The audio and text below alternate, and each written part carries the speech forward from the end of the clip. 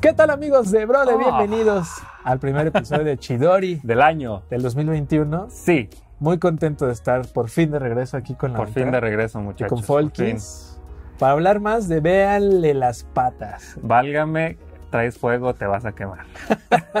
Ándale, cuidado que te vas a quemar. Ajá. Así es, muchachos, bienvenidos a esta edición nueva en la que pues nos vestimos, yo creo que de gala, Folky, para Pues, empezar chido el año. suerte, este, digo, si ahí me siguen en Instagram, pues me metí a un concurso ahí pues de diseñar ahí unos Jordan 5 Uf. y pues fui afortunado ahí los chicos de Lost, patrocínenos.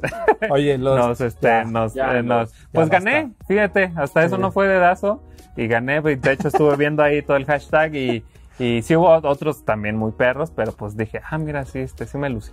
No, la neta sí, vayan ahí al Instagram de Folky porque hizo unos Jordan 5 muy chidori. Sí, yo. estuve inspirado en el EVA 1 y en el EVA 01, en el Berserk Mode, en el de ya de You Are Not Alone.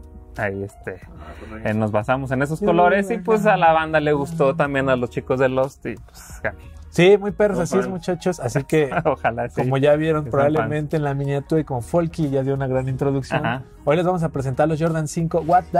Oh, aquí están, mira qué bonito este caja, obviamente muy Jordan.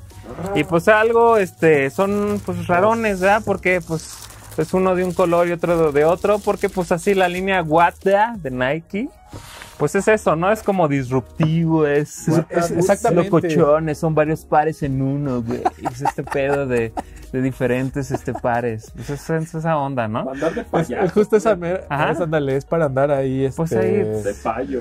Pues sí, así como dice Folky, pues es para andar ahí de payo. Que la neta, la serie What the, o esta línea What the, empezó con los donks, Folky. Ahorita Con los vamos- donks. Les vamos a contar un poquito más a profundidad la historia de este par. Pero celebramos 30 años en el 2020, a finales del 2020, este que fue cuando par. salió este par del Jordan 5. Y pues justamente le tocaba ya entrar a esta línea de la What the, que justo este muchacho toma como inspiración el Tokio. Lo pueden ver aquí. Este, el- Aquí el está. Shanghai, ¿no? Y allá es el Shanghai, que este Sí. simbolito se hizo muy popular en los Jordan 5 y en el Tokio, cuando abrieron la primera tienda Jordan en Tokio, Ujú. Japón. Entonces, ese es de los pares más buscados y este se volvió bastante cotizado, diría yo, por lo mismo, Ujú. porque no habíamos visto el amarillo ni el, ni el Tokio desde ese lanzamiento. Entonces, No, y aparte se supone que son varios, o sea, como les dijimos, son varios Ujú. pares en- mezclados en los dos. Realmente el, el interior este creo que está basado en el, en el del Fresh Prince. es justamente Este, este, como este pattern, o sea, el del príncipe de Bel Air. Y acá en, en otro, entonces son varias, como varias co- cosas en uno, la suela está verde, que originalmente es transparente como este. Exactamente, como esta que el Jordan 5, muchachos, fue el primer Jordan en tener esta suela transparente. Antes ya se había hecho con el Mag de Volver al Futuro, Ajá, donde lo vimos ahí, donde Tinker Hatfield se puso a experimentar. Pero ya el después dijeron, Tinker Hatfield. Además de eso, pues vamos a llevarnos unos Jordan. Y este, muchachos, pues sí, muy emblemático porque también el Jordan 5 pues llega con el primer campeonato de Michael Jordan en el 90, donde hace historia prácticamente porque en los 90 solo eso le faltaba Sí. y por eso es tan emblemática esta silueta. Folky se lució, le Tuve jugó, suerte. le apostó. Gran dinámica, por cierto, también para participar por este par. Y muy contento de tenerlos aquí para Igual, contarles sí. un poquito más del Jordan 5. De la historia, está increíble la historia del Jordan 5. What the fuck? What the? Vamos a ver. Bienvenidos a Brother Chidori Mucacos. ¡Oh!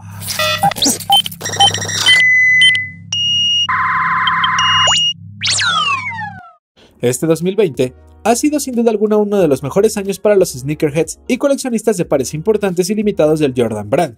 Y no podíamos despedirnos de este año sin una silueta importante y emblemática para todo el hype y obvio para todos aquí en Chidori. Fue así como llegó a nuestras manos el nuevo Air Jordan 5 What The, uno de los experimentos más emblemáticos de la marca y que mantiene la celebración del 30 aniversario del 5, una de las siluetas consentidas de Michael Jordan y que se mantiene relevante para los amantes del hype. Antes de pasar a hablar de lleno de los elementos que conforman esta nueva silueta, nos centraremos en conocer el pasado y el impacto que ha tenido el Jordan 5 para la cultura del streetwear, desde su debut en las duelas hace poco más de tres décadas. Para febrero de 1990, lo único que Michael Jordan necesitaba era coronarse campeón de la NBA. Si bien su impacto en la duela era importante para el deporte, los seguidores del deportista y su equipo, todavía había algunos contrincantes que se sentían como verdaderos dolores de cabeza, siendo los Pistones de Detroit algunos de los más difíciles de superar. Si bien la carrera de Michael Jordan estaba despegando y a punto de llegar a la cúspide, fue durante la temporada de 1989-1990 que empezó a destacar por marcar sus anotaciones históricas, logrando incluso marcar 92 puntos en un partido usando los Jordan 5. El mismo par de sneakers que hacían sentir a Michael Jordan en la duela como un batallón completo de la Fuerza Aérea de los Estados Unidos. El diseñador detrás del insuperable Jordan 5 fue nada más y nada menos que Tinker Hatfield, quien inspirado directamente por un jet de combate P-51 Mustang de la Fuerza Aérea estadounidense, trasladó toda esa velocidad, impacto y fuerza a un par de sneakers, con la intención clara de demostrar poder y dominio en la cancha durante los juegos de básquetbol. Los aviones de combate P-51 Mustang fueron de los más utilizados durante la Segunda Guerra Mundial y formaron parte importante de combates en la región de Europa, Asia y hasta el Pacífico. Su insignia principal estaba en el frente del avión y los lados, donde los pilotos dibujaban figuras que simulaban los dientes de tiburones blancos, dando una sensación de mayor agresividad para el momento del combate. Tinker Hatfield representa esas formas agresivas en el midsole y los side panels del Jordan 5. Pero eso no es todo lo que vuelve tan especial al Air Jordan 5.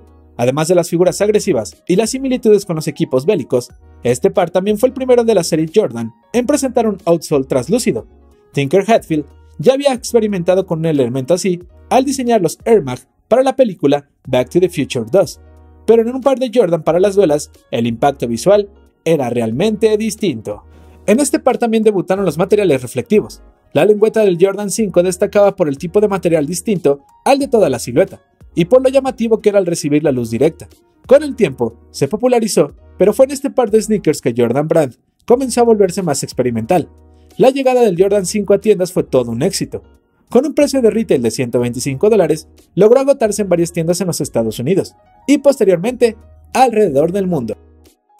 El lanzamiento original llegó con cuatro colorways distintos, mismos que al día de hoy son muy buscados, limitados e importantes para los sneakerheads. White Black, Black Metallic, White Fire Red y el extraño, pero con sentido, White Grape. Para septiembre de 1990 el Jordan 5 ya tenía el camino perfecto para popularizarse e impactar aún más a varias generaciones alrededor del mundo, por un lado, Michael Jordan ya se había embarcado en la temporada que lo llevaría a convertirse en campeón de la NBA, y al mismo tiempo se estrenaba en televisión la popular serie protagonizada por Will Smith. Claro que nos referimos a The Fresh Prince of Bel Air. En muchos de los episodios podemos ver a un joven Smith actuar pisando varias siluetas Jordan, siendo los Jordan 5 los más populares, emblemáticos para el personaje y una referencia clara en la actualidad para todos los que recuerdan sus temporadas al aire. Siendo los Jordan 5 The Grape los más populares y buscados entre sneakerheads. Cabe destacar que desde su lanzamiento original en 1990, no lo vimos hasta 16 años después, con un relanzamiento conmemorativo de la serie por allá del 2006, y más recientemente con nuevas reediciones de celebración. A lo largo de los años el Jordan 5 ha logrado convertirse en un verdadero grail para los amantes del juego del hype. Colaboraciones con brands como Supreme por allá del 2015 elevaron el valor general de la silueta hasta los cielos. También ha habido colaboraciones fuertes con equipos como el Paris Saint-Germain y más adelante con otras como Off-White. Los precios en la reventa, como ya lo imaginarás, están inalcanzables. Desde su lanzamiento este par de sneakers ha sido por demás popular entre los coleccionistas. Hemos visto muchas colaboraciones y hoy llegó el turno de hablar de esta versión What The, la serie de lanzamientos de Nike y Jordan en la que toman como inspiración la mezcla de colorways emblemáticos de sus siluetas para lanzar un par con piezas de muchas otras versiones creando pares únicos en su estilo, en su construcción y prácticamente irrepetibles. La serie What lleva varios años en la escena y la popularizaron los Dunks hace tiempo. Sin embargo, puede que para muchos nuevos coleccionistas se sienta como algo disruptivo y extraño, pero esa es la intención clara del par. El Air Jordan 5, What que sigue con la celebración del 30 aniversario del modelo icónico, incluye una amplia variedad de materiales y combinaciones de colores de versiones no originales del modelo, se pueden ver, por ejemplo, toques del Jordan 5 Tokyo, el Raging Bull, el Green Bean, el Army Olive y el Quai 54, entre otros. El calzado se completa con los logotipos bordados de las ediciones Shanghai y Tokio. El resultado de estas combinaciones es un Air Jordan 5 que llega mucho más allá que todos los anteriores. En cuanto a la construcción de este par de sneakers, destacan los elementos tomados de los colorways antes mencionados, siendo el Tokyo, el amarillo, el probablemente el más representativo por su similitud con el lanzamiento original, que fue exclusivo de Japón en la inauguración de la primera tienda Jordan en el país nipón. Sucediendo algo similar con los Shanghai en el lado rojo. Cada zapatilla portando con orgullo el logo emblemático del colorway. La construcción del upper y los side panels predomina el suede como material principal, y aunque las flat laces negras pudieron ser más llamativas, no podemos negar que lucen bien al usarlas, y sobre todo con la malla plástica de los side panels y que invade parte del upper. Las lengüetas probablemente sean para algunos el elemento más distintivo e importante del par, ya que retoman los materiales reflectivos para hacerlos más llamativos y seguir diferenciando uno de otro. Este fue un vistazo directo al nuevo Air Jordan 5 What The, uno de los pares más raros del Jordan Brand, pero que reúne pedazos de historia de la marca que pocos podrán superar. Su comportamiento entre coleccionistas sigue siendo extraño, pero el paso del tiempo y los años determinarán su impacto general en el juego del hype, la industria y veremos si logran ascender como uno de los grails más buscados. Pues ahí está muchachos, un vistazo a profundidad a este Jordan 5. Qué gran historia, ¿eh? Obviamente, pues la influencia que se hicieron también muy populares, porque pues ahí Will Smith los usaba en el show, este, todo lo inspirado de Tinker Hatfield sobre los aviones, estos Mustang. Los Mustang 75 que son eh, emblemáticos. Que tienen ahí las, como las eh, fauces de un tiburón, que es pues aquí inspirado en estas cositas de aquí. Exacto. Que cada, yo no sabía esa onda de que Tinker Hatfield se, siempre se enfocaba mucho como en la actitud que traía Jordan en ese tiempo y eso se inspiraba para hacer los tenis. Por ejemplo, pues en esto, pues dice, no, pues es que este güey siempre es como un depredador que anda en chinga. Siempre estaba como Siempre anda en ataque y, pensó que anda también en ataque, pues los aviones y hacía esas, como esas analogías y pues los hacía. Y gran forma de aterrizarlo y materializarlo, yo creo que en una silueta también ahí eh, Jordan ah, lo ha dicho abiertamente que es de sus favoritas ever, junto al 4 y el 1, que son como sus más eh, emblemáticas. El Jordan 5, como dice Folky, eh, también muy popular por Will Smith. Era, es imposible. Que le quitaba las agujetas y le, se las quitaba porque este, este tenis es de los primeros que tenían como un elástico adentro y entonces él se las quitaba porque pues las agujetas se le hacían como de más. Y de hecho sí y de hecho después sacaron una versión sin agujetas que esto ya está como sellado. Exacto. O sea ya ni siquiera tienen los hoyos y tienen los colores estos del famoso grape del grape que justo hay un hay un par ahí muchachos especial que celebra al príncipe de Bel Air porque inicialmente pues no estaba pensado para la serie sino que se hace popular a través de Will Smith y después, eh, por ahí del 2016, sale, 2006 o 2006, no recuerdo bien ahorita, eh, pero sale una versión específica del Príncipe de Bel Air que ahorita es carísima, esa, versión de The Grape. Yo la quiero. Pero está increíble. creo que es tres versiones. Está esa del 2006, está 2013 o 2016, salieron dos, la, de sin agujetas. y la que es este ya con agujetas y trae ya este patrón este como, como noventero. Ojalá, pero pues tío Phil no usaba.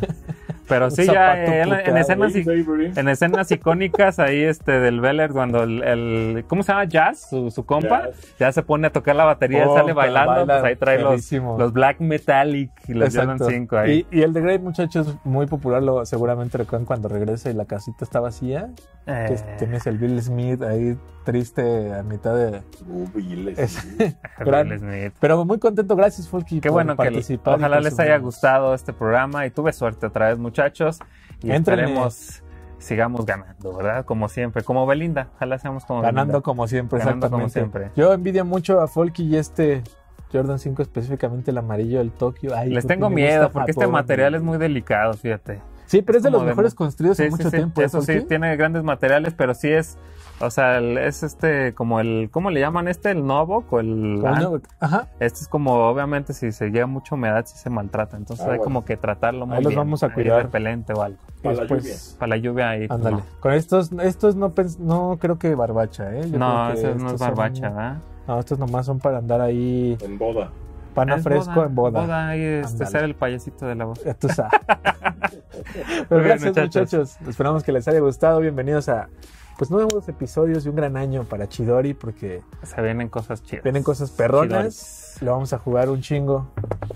al fuego, diría Muy yo. bien. Gran año para usar tenis en casa. Ahora, Otro año más, exactamente. O sea, ya, ya entrenaron uno, prepárense porque este los van a usar un chingo para las juntas en Zoom. Y que no se vean las patas. Uf, Gracias, Bucajo, los queremos. nos vemos. Ya saben, ¡Fónala! Bueno, 哦。